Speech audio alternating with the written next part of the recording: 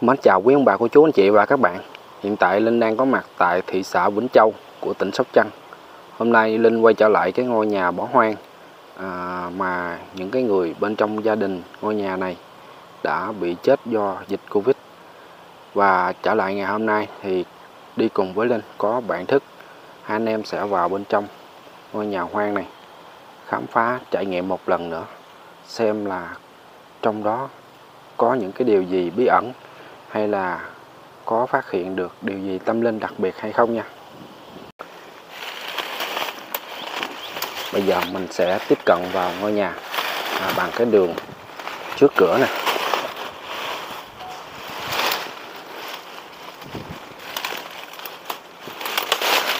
Ây da, trời ơi.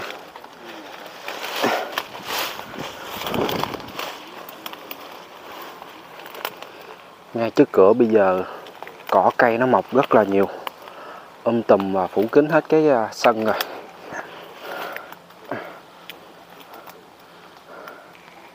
Đây. bạn thức đang đi phía sau này cả nhà. Cái đường quá trời khó vô. Lúc trước thì à, linh đi vô bằng cái đường bên hông, cho nên là nó dễ đi hơn. Hiện tại thì à, bây giờ mình vô bằng cái đường cửa chính này nè, cho nên hơi khó đi một xíu. Cỏ cây nó bít hù à.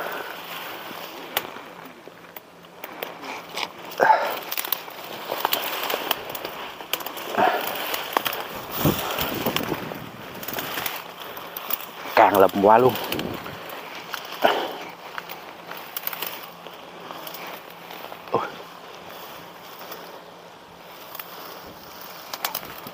Bữa nay đi vô cái đường này mới mới phát hiện được là ở phía trước vẫn còn một cái bàn thờ.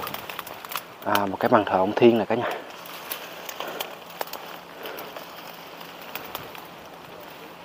Ôi, không biết có ong không nữa.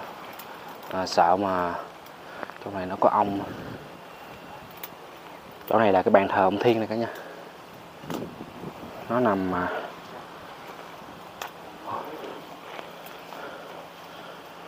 bàn thờ này nó nằm ở à, chịch bên à, bên cửa nhà chứ không phải là ngay chân chính giữa luôn. Và nó có hai cái bậc.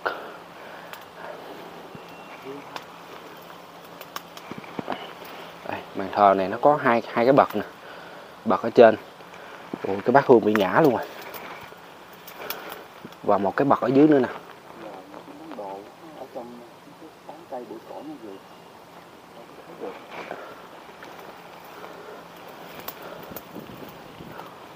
cái vàng cắn ông quá trời luôn phải không ừ nãy giờ càng qua mấy cái đám cỏ đó, kiến vàng cắn nó chết luôn. Và cái đường này không có vô được rồi. Không có băng qua cái cục lùm đó được.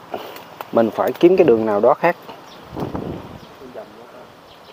Đi vòng qua đường nào đây? Ừ. coi chừng có ong đó nha. Ong nghệ là nó nó quất một cái là sưng dù dù luôn đó mấy cái đám lùm như vậy hay có ong nghệ lắm cả nhà. À, những cái ổ ong mà nó vàng vàng nó đóng ờ, ở trong mấy cái bụi lứt nè. Hồi nãy giờ càng vô anh em cố gắng đi vô bằng cái đường cửa chính nhưng mà không có vào được. Chắc là phải đi đường ờ, bên hông rồi. Quá trời cao hút đầu luôn mà không có càng qua nổi cục đó đâu.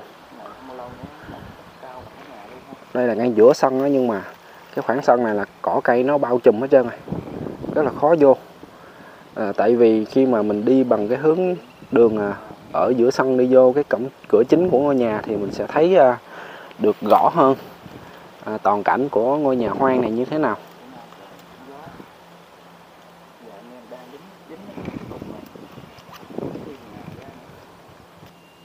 Trời Đó, bây giờ hai anh em mà vẫn quyết định là đi bằng cái hướng cửa chính vô. À, bạn thức sẽ à, giờ mình sẽ liều mạng À. ha cái đám đất này để mà di chuyển tiếp cận ngôi nhà hoang để xem cái cảnh tượng bên trong cùng với những cái điều những cái lời đồn của bà con nói trong cái nhà này người ta ăn trộm vô là bị báo mộng về rất là sợ nha Rồi bây giờ quyết quyết quyết định của hai anh em mình là sẽ guồng qua cái đám lùm này để à, vào được bên trong ngôi nhà luôn cả nhà.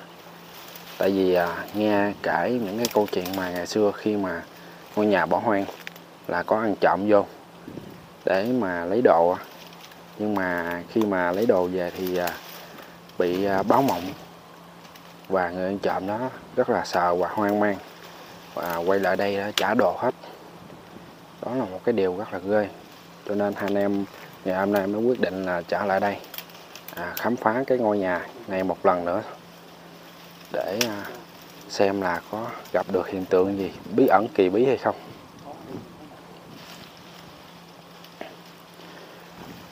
Coi chừng ông nha.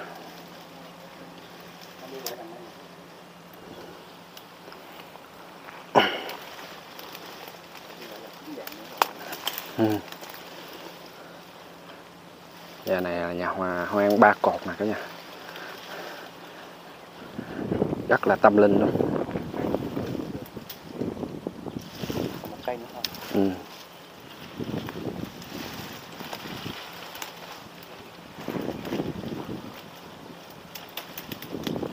nãy phải kiếm mấy cây quơ quơ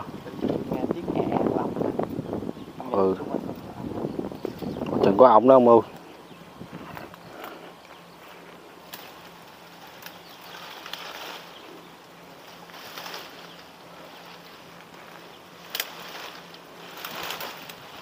qua cây đó là qua được rồi, phải không?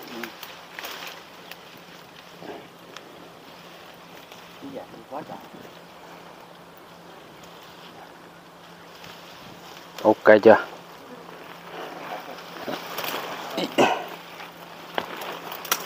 Đủ xí dưới dây.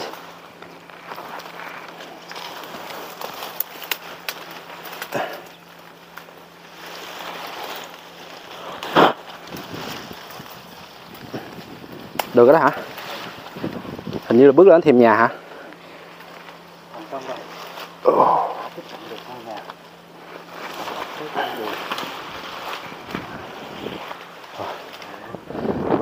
Đây là cái đường mà anh em mới dọn ra nè một lỗ luôn năm bảy phút thì mới tới được nha mọi người thấy không toàn là đất không à để ngoài vô cái cũng hai chục mét bụi nào bụi nó cao hết trời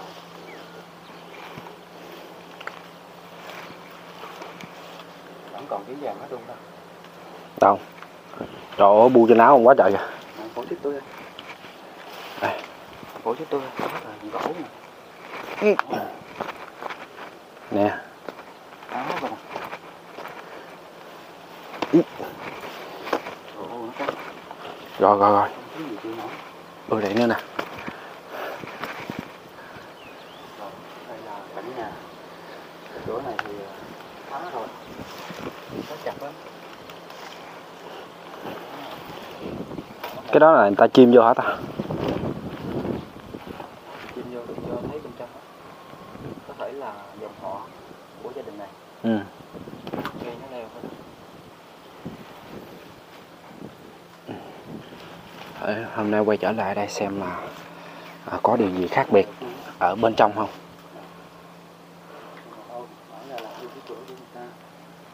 Như là cũng không có gì thay đổi nhiều cả nhà cũng là những cái à, tủ và giường và ngày hôm nay trở lại thì rác trong nhà nó nhiều hơn. Lá cây rồi quá trời.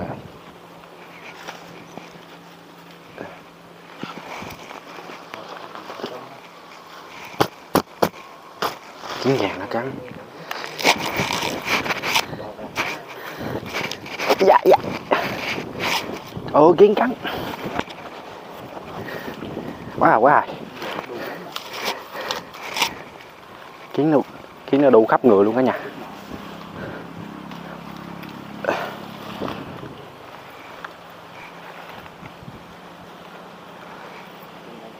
Ây da.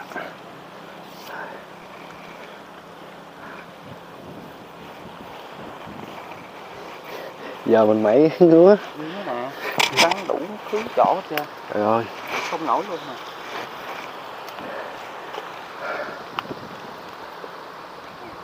Chứ không có sao nữa các bạn. Đây nữa nè. Tuy là nó cắn cũng không có đau tấy gì mấy. Nhưng mà nhiều con nó cắn khó chịu lắm.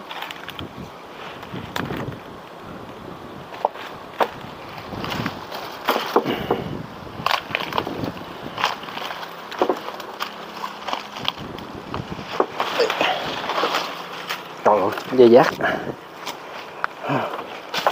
Trái không? Đó, trái nhóc đó. Đó, mấy trái đen luôn nè chín hả? Ừ, chín đen thui luôn nè. cá ăn là, là, là ngon lắm. Chua chua mà có vị ngọt. Ừ, Ở miền Tây thì nhiều lắm các bạn. Kho cá thì nó sẽ ra những cái màu màu đen dạ. Ồ, chiến dạng cắn hoài luôn. Ở đâu mà nó còn đu trên mình hoài luôn nè.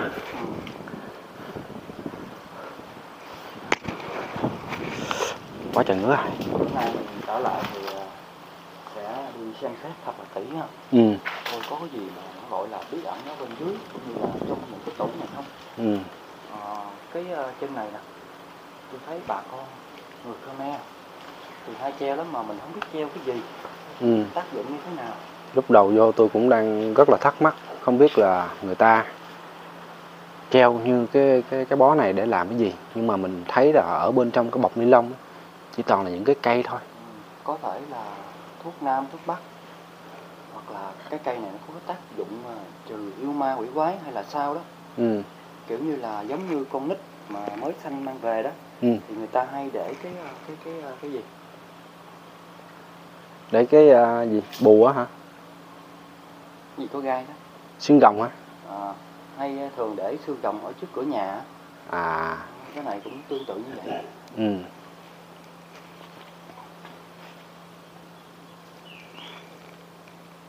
trong đây toàn bộ là ba cột hết nhìn cái phong thủy nó không có được thích hợp chút nào. Nguyên hàng cột giữa cũng là ba cột, cột sau trước. Giữa sau trong. Đều là ba cột hết. Đều ba cột đều với nhau thẳng tắp.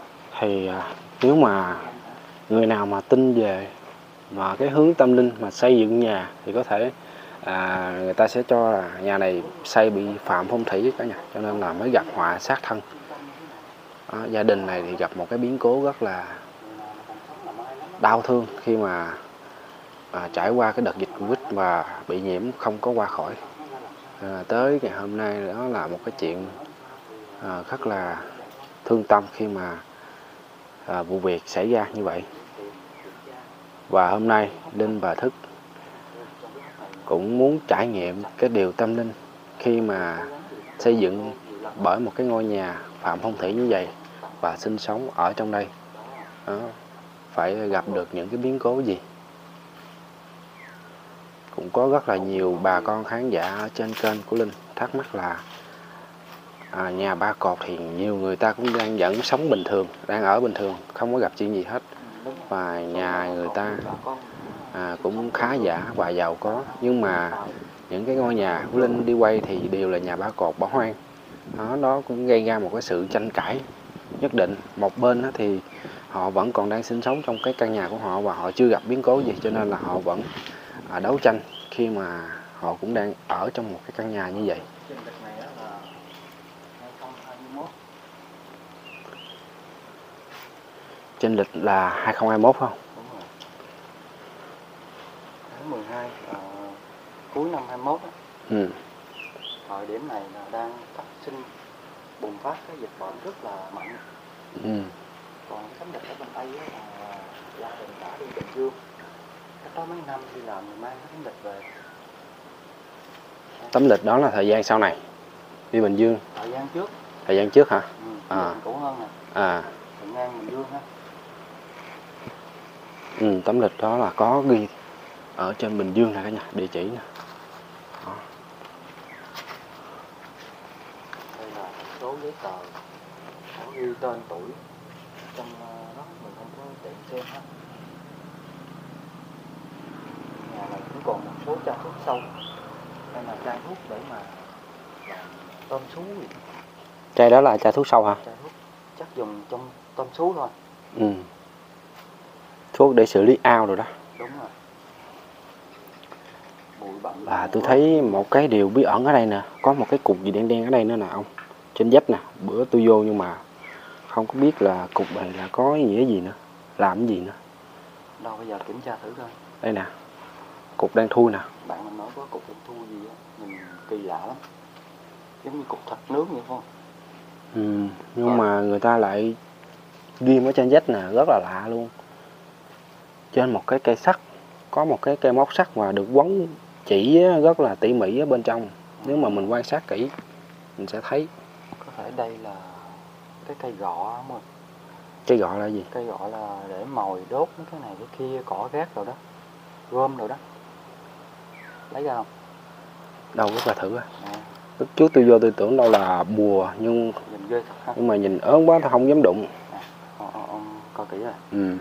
cái này là cái cây gọ để mà xông hơi xông bóp rồi đó giác hơi rồi đó. Bởi vậy tôi thấy quấn một cục đen thui mà tôi không biết là cái gì mình ngoáy ngoáy ha đốt Ừ. xong ngoáy ngoáy vô cái cái, cái miệng chai á. Ừ. rồi sẽ giác hơi. À, tôi chập lại chứ là phải vậy ha. Cục đen thui mà bạn cứ tò mò vào.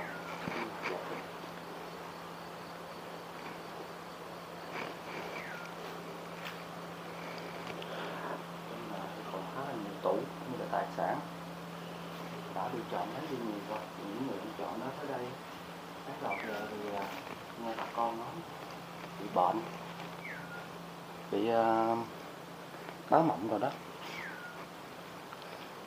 Chắc là mấy cái tủ này nào ông ơi là lúc trước trộm vô nó cạy ra nó lục là đúng không? Đúng rồi lấy hết đồ trong rồi Ừ. đâu còn gì đâu.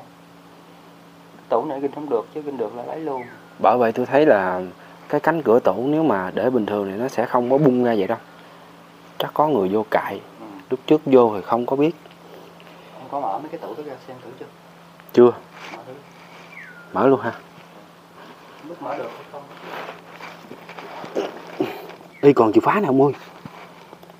Đấy, trên tủ này vẫn còn chìa phá nè cả nhà. Khóa gãy không? À, còn một cái chìa phá ở đây. Được bây giờ mở thử xem. Rồi cứng ngắc à. Cứng ngắc à? Ừ vậy là còn đồ ở trong đó. Không biết là bên trong đó là một cái bí ẩn nè không biết là bây giờ mình mở ra được không ta? Cố gắng mở ra thử coi.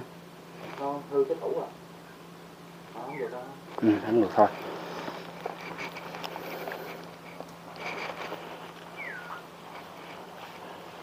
Bên này là một đống giấy tiền vàng vàng mã nè. Còn để rất là nhiều mà người ta không đốt ha ừ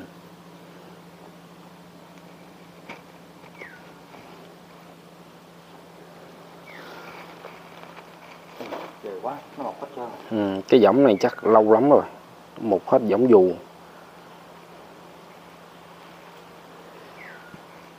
Tại sao người ta thường hay để với tiền vàng bạc này người ta sẽ đốt cho người chết? Bởi vì nhà này thì họ cũng đã qua đời hết rồi mà tại sao họ không đốt mà đem để vô đây nguyên giấy vậy? Rất là lạ. Không còn ai đốt. Không đồng họ họ cũng đâu có tới thường xuyên đâu. Ừ.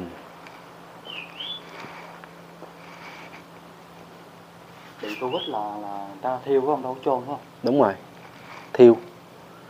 Thiêu ờ, rồi xong ta sẽ lấy tro cốt đem về nhà hoặc là chùa.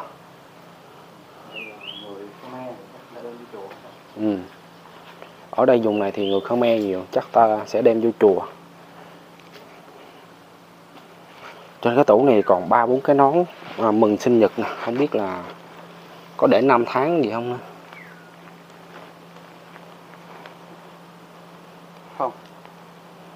Ừ.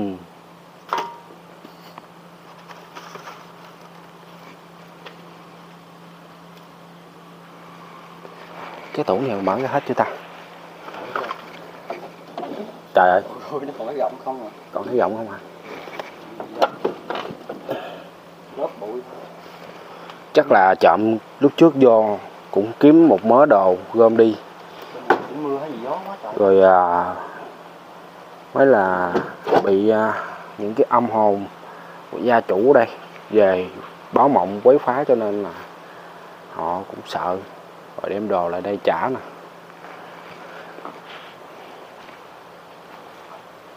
Trời, đang chuyển mưa bên ngoài ông ơi. Ừ coi tranh thủ à, mình à, rời khỏi đây đi để họ mắc mưa ở trong đây nguy hiểm lắm.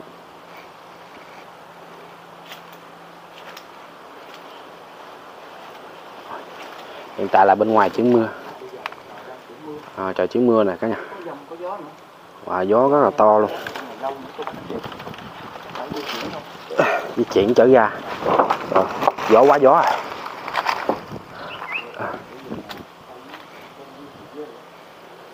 Tôi đạp lên cây đó đó. Ừ. Dép tôi cứng mà.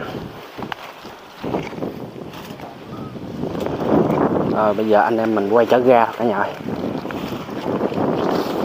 Ờ,